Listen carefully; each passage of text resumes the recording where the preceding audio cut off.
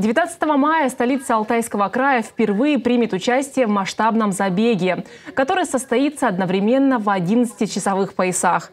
Речь идет о знаменитом спортивном событии – Всероссийском полумарафоне. В этом году он станет уже восьмым по счету. За время его проведения в забеге приняли участие десятки тысяч людей, а в прошлом году количество участников превысило 160 тысяч. Кто может принять участие в полумарафоне, какие дистанции запланированы и какая программа ждет гостей и участников забега, нам сегодня расскажет организатор полумарафона Егор Галкин и амбассадор мероприятия Мария Костина. Ребята, здравствуйте. Здравствуйте. Давайте с вами поговорим прежде всего о том, а, как возникла идея организовать такой масштабный полумарафон у нас в Барнауле. А, Все началось, э, как ни странно, с города Пскова. Я был военнослужащим, служил по контракту, а, получил ранение. И все дело шло к увольнению. Очень долгий процесс, комиссий много. А, мне предложили поучаствовать в организации Псковского марафона, Псковского триатлона, забега РФ. Мне понравилось это все, сама атмосфера, что люди приобщаются к беговому, беговому сообществу. Э, начали заниматься, начали организовывать. И дело уже под увольнение. Нужно переезжать на свою родину, в город Барнаул. И у нас такого нет. В Пскове 200 тысяч населения, город Барнаул намного больше. И нет. И решили связаться с гонкой героев. Э, инициативу предложили, нам дали добро.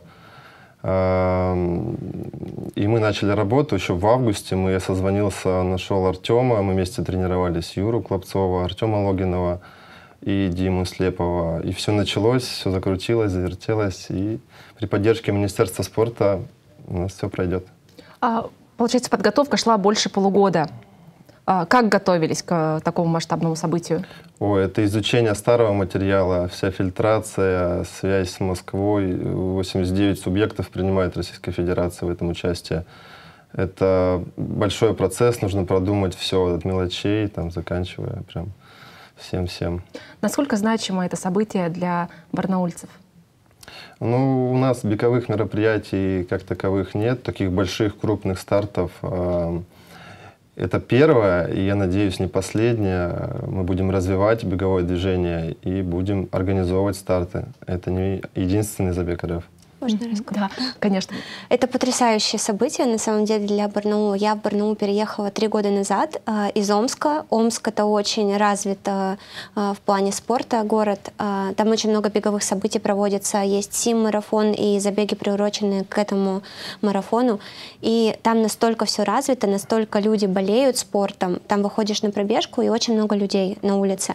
И когда я переехала в Барнаул, я обалдела, что здесь все не так. Ну, то есть а, здесь нет, а, не было беговых стартов.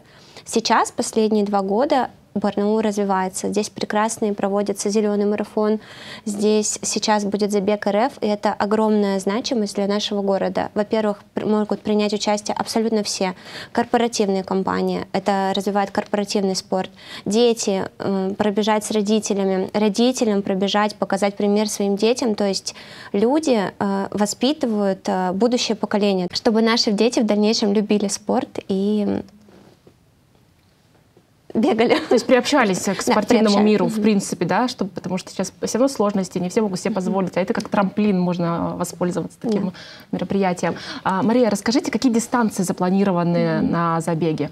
Есть дистанция один километр, это для детей, для взрослых, которые только-только пробуют себя в спорте. Есть дистанция побольше, 5 километров, для тех, кто тоже э, уже, может быть, занимается спортом, фитнесом и хочет попробовать себя вот в этом забеге. Есть дистанции побольше для уже уверенных в себе спортсменов 10 километров и 21 километр. Насколько нужно быть физически подготовленным? Вот можете прямо даже по очереди да, рассказать о том, как готовиться к такому старту. Ну да, э, вот если брать один километр, то там есть возрастные ограничения. Э, дети от 6 лет и старше могут бежать, но километр не подразумевает собой, что э, ребенок 6-17 лет побежит, а взрослый не может. Взрослый также может в этом участвовать. Также 5 километров э, доступны от 16 лет э, регистрация, 10 километров уже от 18, 21 то же самое, от 18 лет. И это самое главное правило. Но Мария расскажет про подготовку. Пора подготовку.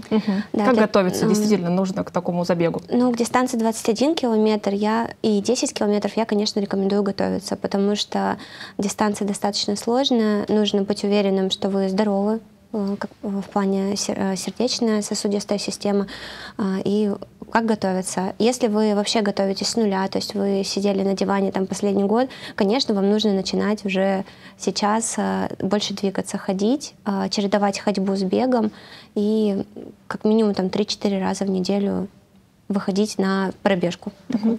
А, к такому к таким серьезным дистанциям можно подготовиться за месяц? А, конечно, нет, объективно говоря.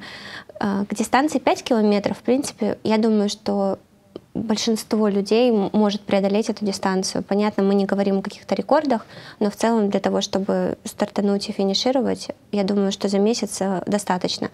Для дистанции 10 и 21 километр, конечно, нужно готовиться заранее. А вообще каждое воскресенье мы проводим а, совместно с другими амбассадорами проводим а, бесплатные тренировки. Они проходят в различных локациях города, и можно прийти, попробовать себя как раз в беге, и там уже тренер вам подкорректирует вашу подготовку и, в принципе, даст советы. Как себя готовить? В принципе, самое основное — это просто двигаться, выходить на пробежки, делать э, различные тренировки, которые вам ближе, то есть э, что-то из школьной программы, вспомнить что-то из университетской. А, разминка обязательно, а, легкая, легкий бег трусца, э, шаг, чередовать бег с ходьбой обязательно на начальных этапах. И в дальнейшем ну, желательно хотя бы 3-4 раза в неделю выходить на такие тренировки. Требуется ли медицинское подтверждение, что ты можешь пробежать э, данный забег? Да, медицинская справка обязательно. В какой форме она должна быть э, заверена двумя печатями, двумя, тремя печатями. Если многие военнослужащие приходят, им достаточно двух. Но в основном, если в поликлинику человек обратился, будет три. Там должна быть прописана дистанция не меньше той, которую побегут. Угу. Все по справкам. Угу. То есть э, это терапевт в первую очередь, да, который тебе подскажет, как получить эту спортивную справку. Один врач, да, терапевт, там это все. Если у детей это педиатр, у взрослых это терапевт. Он заключение выводит там 15-20 минут. Ничего сложного, никаких прям нудных обследований, сдачи кровь, ничего этого не нужно делать. А как зарегистрироваться там полумарафон, если мы уже берем э, тот расклад, что есть справка, есть огромное желание, вот куда идти, где регистрироваться? Да, прежде всего нужно перейти на сайт, на главный сайт забег.рф.ру, э, выбрать город Барнаул и дальше следовать инструкциям э, и регистрироваться. Там все будет подробно, пошагово указано, будет все просто. То есть это только на сайте, там позвонить куда-то, зарегистрироваться не получится? Да, все верно, только на сайте. Угу. Знаете, э, такой момент, Мария, вы сказали, что сейчас в Барнауле идет активная подготовка, причем бесплатная. Угу. Вот э, куда может человек прийти и бесплатно позаниматься, подготовиться, вообще понять, нужно ли ему это? А, у нас есть сообщество в Инстаграме, где мы транслируем, а, где, когда и кто будет проводить бесплатную тренировку. В прошлое воскресенье проводила я в Изумрудном парке в 10 утра. А, в это воскресенье будет проводить Катя. Катя, Катя Клопцова. Катя Клопцова. Чемпионка мира многократная да. по пожарно-погодному спорту. Угу. Еще один амбассадор Яна Кирпиченко, лыжница. Наверное, все угу. знают ее. Конечно. А, у нас сообщество ВКонтакте, угу. и там вся информация, все подробно написано, расписано, когда, какая будет дистанция, какой будет маршрут, какие нужны справки, где у нас будет проходить бесплатная тренировка. Абсолютно все. Угу. Уже сейчас понятно, сколько людей регистрируется и сколько ожидаете? На сегодняшний день более 500, 550 последняя э, цифра была. Причем за неделю назад, если отмотать, было на 150 человек меньше. Очень активно начали регистрироваться, и э, кто не успел зарегистрироваться, нужно быстрее, быстрее регистрироваться. У нас э, лимит 1000 человек, тысячу наберем, дальше мы не сможем э, регистрировать, принимать заявки. Интересно, а на какие дистанции люди регистрируются? Больше всего на 5 километров. Километр тоже. Километр и 5 конкурируют между собой. Это, кстати, хороший показатель того, что люди новички, потому что более ну, профессионалы всегда выбирают дистанцию побольше, 10-21, а если дистанция а, лидирует 5,1 километра, значит, люди с нуля приходят э, на пробежку, на, наш, на наше соревнование. Если на забеге, во время забега, во время дистанции стало плохо, Что делать, э, как действовать участнику? Расскажите. У нас э, много волонтеров, более 100 человек, э, и большинство будет распределено по периметру, по дистанции, по всей. Будет в видимости каждый волонтер друг друга видеть. Если вдруг кому-то плохо станет, волонтер свяжется, скорый с нами свяжется сначала с организаторами, далее мы направим скорую помощь на, на место происшествия, и три скорых будут дежурить угу. по всей трассе. То есть, если, не дай бог, кому-то стало плохо, обязательно помогут, э, это вовремя окажут медицинскую да. помощь. На это а. очень большой акцент делаем. Угу. Помимо спортивного мероприятия, гостей, участников ждет развлекательная программа. Расскажите о ней. Почему стоит не только, допустим, прийти и побегать, mm-hmm. но и, в принципе, посмотреть, поболеть за родственников, которые участвуют в забеге? А, будет большая концертная программа, будут выступать группы будет много и локаций игровых. Если ребенок пришел с папой поболеть за маму, найдется место и папе, и ребенку. Все будет очень круто. Планируется большой праздник. Угу. Вот фан-зоны будут, э, пункты питания. Куда можно подойти, как они будут расставлены, э, как это все организовано будет? Пункты питания угу. будут по трассе. Каждые 2,5 километра будет стоять пункт питания. На нем будет вода, изотоник, а, фрукты, банан, апельсин, яблоко. И кто бежит дистанцию, может э, облиться, выпить изотоник и съесть банан. Все будет в доступности. Мы это все продумаем, чтобы было удобно, не мешали, не мешали друг другу. Как вы думаете, вот у нас пройдет этот забег, а наши жители захотят повторить? Я думаю, что на следующий год мы примерно разговариваем, планируем, больше, более двух тысяч человек э, уже будет зарегистрированных на забег РФ. Однозначно. Я думаю, что такое событие, ну, невозможно оставаться в стороне, сидеть дома, когда такое событие происходит ярко в центре города, твоего родного города. Это потрясающе. Да, кстати, а где именно мы не сказали, обозначьте адрес, так скажем, место проведения. Да, стартовый городок будет расположен на площади Советов. А, там будет и сцена, и стартовая арка, и финишная арка. А, Все будет подробно описано, рассказано. Будет за день до старта выдача стартовых номеров в Титов-арене с 12 часов до 20.00. Угу. И там будет еще подробная информация, куда идти, когда старт. Все будет расписано, тайминг будет угу. Для всех. Если возвращаться к медицинской справке, то ее нужно показать при регистрации, ее приложить, там скан какой-то, или уже непосредственно, вот когда будешь получать номер э, на забеге? А, все верно. 18 будет выдача и стартовых номеров, и пакетов стартовых, и там же нужно будет предоставить справку медицинскую. Угу.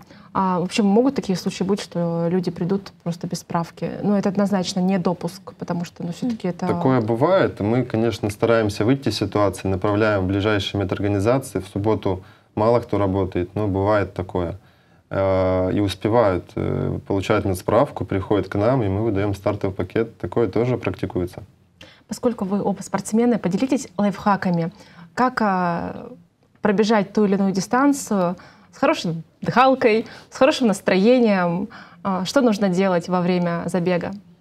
Ну, самое главное не начинать быстро, то есть обязательно перед забегом нужно размяться. Это либо очень медленно, легко побегать, а, поделать динамическую разминку. Скорее всего, ну, там будет, будет общая разминка со сцены. Да, будут амбассадоры да. разминать. То есть э, обязательно, если вы новички, только пришли первый раз на забег, обязательно обратите внимание на общую разминку, подойдите, поучаствуйте. А, далее уже встаем к месту старта в назначенное время и не начинать быстро. Не нужно гнаться за лидерами, которые уже очень опытные спортсмены, спортсмены, они, конечно, всегда начинают быстро. Нужно рассчитывать свои силы. Не вставать, если вы первый раз участвуете, не вставать сразу к линии старта. Встать чуть-чуть подальше. Начинать в своем темпе, легко, спокойно. И рассчитывать свои силы по дистанции. Какие призы нас ждут? Стартовый пакет. Э, каждый участник получит э, очень большой. Там Будет футболка, брендированный пакет под обувь, будет много э, буклетов, призов от партнеров. А на финише каждый получит большую, красивую дизайнерскую медаль. И много-много всего. А победителям будет еще интереснее. увидите, что они получат. Это сюрприз. То есть как-то интрига сохраняется, потому что победить стоит. Победить стоит, конечно. Да, и добавлю еще, у нас есть как абсолютные зачеты, так и по возрастам. То есть, э, если нам 45 лет, мы пришли, соревнуемся, молодые убежали, а среди своих сверстников мы тоже поучаствуем. Также и женский, и мужской будет зачет. Спасибо вам за такой прекрасный диалог. э, И я желаю вам, чтобы как можно больше людей пришло и приобщилось к бегу и, в принципе, к спорту. Спасибо вам большое. Будем ждать Спасибо вас на большое. забеге. Спасибо. А я напоминаю, что сегодня у нас в гостях были организатор и амбассадор Всероссийского полумарафона Егор Галкин и Мария Костина.